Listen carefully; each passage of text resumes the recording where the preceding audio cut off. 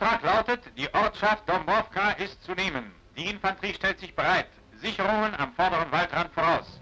Die unterstellten schweren Waffen gehen in Stellung, um den Angriff zu unterstützen.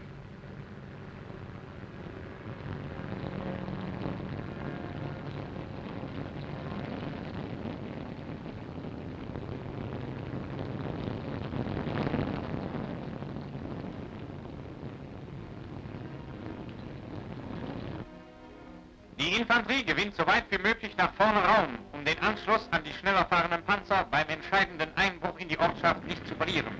Es wäre falsch, den Panzer an das langsamere Tempo der Infanterie zu ketten.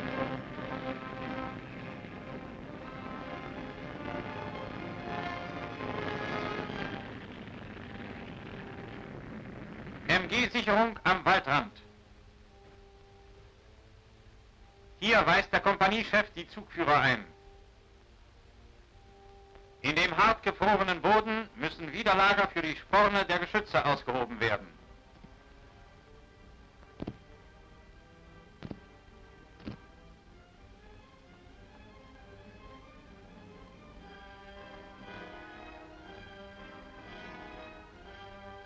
Die Artillerie eröffnet das Feuer gegen die feindlichen Feldstellungen und macht später Zielwechsel auf die Ortschaft.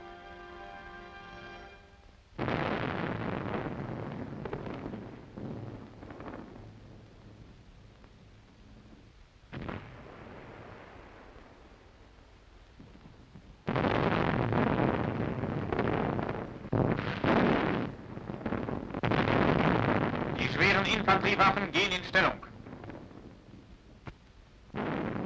Die Infanterie tritt zum Angriff an. Auf weite Entfernung kann das Gelände besser in Schützenreihe ausgenutzt werden.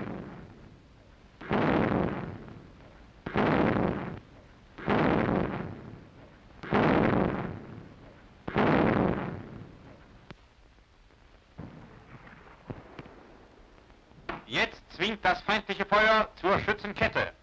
Die Infanterie arbeitet sich aus eigener Kraft so nah wie möglich an das Angriffsziel heran.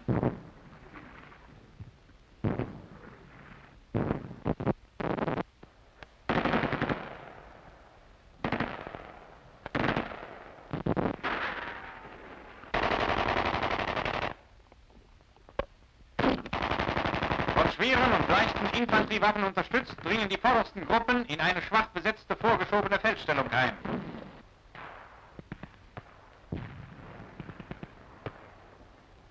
Rückung!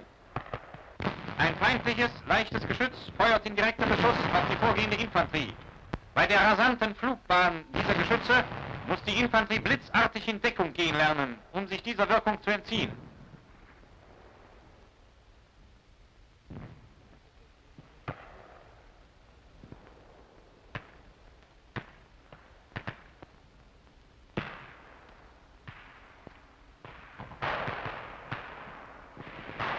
Das Leuchtzeichen des Führers der Infanterie gibt den Panzern nach Erreichen des befohlenen Geländeabschnittes den Befehl zum Antreten.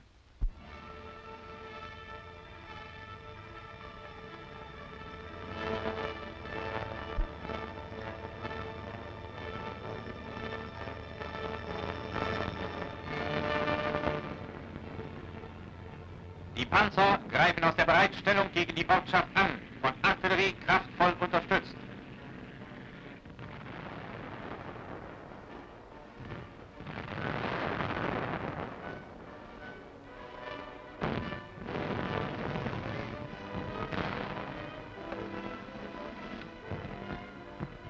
Vorstoß leichter feindlicher Kampfwagen wird von den Panzern von Pack und 2 cm Flak auf Selbstfahrerfette abgewehrt. Panzer von links!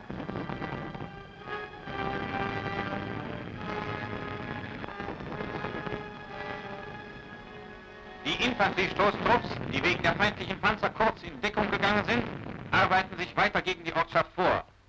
Für den Ortskampf wurden dem Führer der Infanterie Flammenwerfer unterstellt.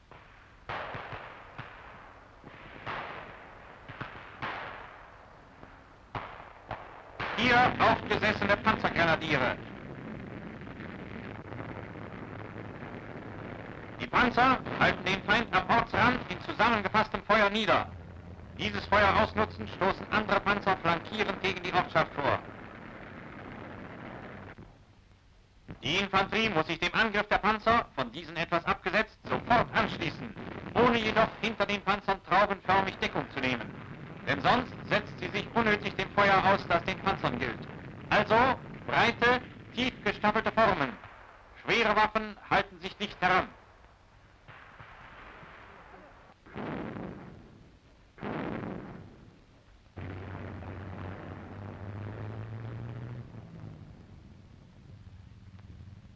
Von zwei Seiten nehmen Infanterie und Panzer die Ortschaft Dombrovka in ihre stählernen Klammern.